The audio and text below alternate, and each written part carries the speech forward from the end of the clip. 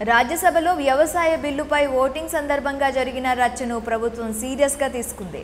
పొడియంలోకి దూసుకురావడంతో పాటు సభ మర్యాదలకు భంగం కలిగించారని డిప్యూటీ చైర్మన్పై దాడి చేశారని ఆరోపిస్తూ ఎనిమిది మంది విపక్ష సభ్యులపై సస్పెన్షన్ వేటు వేసింది. వీరందరినీ ప్రస్తుత రాజ్యసభ సమావేశాలు ముగిసేంత వరకు సభ నుంచి సస్పెండ్ చేస్తున్నట్లు చైర్మన్ వెంకయ్యనాయుడు ప్రకటించారు. వీరంతా సభ్య సమాజం సిగ్గుపడే రీతిలో సభలో ప్రవర్తించారని ఏమాత్రం నియంత్రణ లేకుండా గౌరవ డిప్యూటీ చైర్మన్పై దాడికి ప్రయత్నించారని ఆగ్రహాన్ని వ్యక్తం చేశారు. ఇక సస్పెండ్ అయిన సభ్యుల్లో ఆమ్ ఆద్మీకి చెందిన సంజయ్ సింగ్ తృణమూల్ కాంగ్రెస్ పార్టీకి చెందిన డెరిక్ ఓబ్రాన్ డెల్సేన్ కాంగ్రెస్కు చెందిన రాజీవ్ వాస్తవ్ రిపున్ బోరా సయ్యద్ నజీర్ హుసేన్ సిపిఎంకు చెందిన కరీం కేకే రాజేష్ ఉన్నారు వీరి సస్పెన్షన్ను ప్రవేశపెట్టిన తరువాత సభలో తీవ్ర గందరగోళం చెలరేగింది మరోసారి విపక్ష సభ్యులు పొడియంలోకి దూసుకొచ్చి ప్రభుత్వ వ్యతిరేక నినాదాలు చేశారు గందరగోళం మధ్యే ఈ తీర్మానాన్ని ఆమోదిస్తున్నట్టు వెంకయ్యనాయుడు ప్రకటించారు ఆ తర్వాత కూడా సస్పెండ్ అయిన సభ్యులు సభ నుంచి బయటకు వెళ్ళకపోవడంతో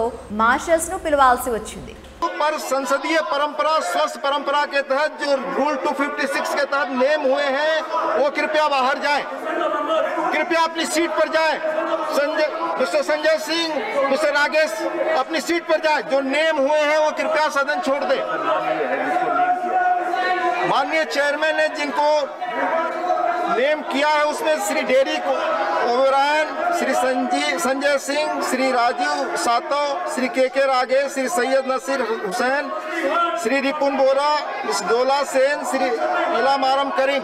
कृपया अपनी सीट पर जाएँ। कृपया अपनी सीट पर जाए, अपना पीठ न दिखाए मिस्टर रिपुन बोरा अपना बैग न दिखाए। संसदीय परंपरा का मालन करें।